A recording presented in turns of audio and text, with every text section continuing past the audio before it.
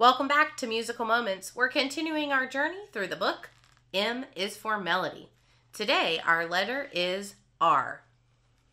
R is for rhythm. Can you feel the beat as it flows through our fingers and into our feet? And R is for ragtime, a hit for our nation. Just drag out a beat, and it's called syncopation. Rhythm is the long and short sounds that make up the music that we hear. We can hear and feel rhythm when we are listening to music.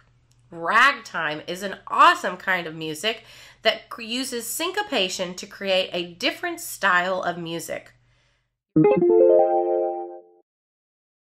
Your musical challenge today, you've got two.